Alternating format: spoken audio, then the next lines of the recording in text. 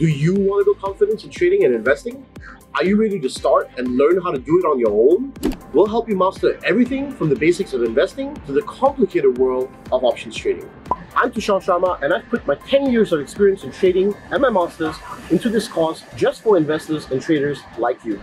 This self-paced course has a curriculum focusing on both academic and practical learning. You'll not only learn about day trading, but also valuations and how to construct your own portfolio.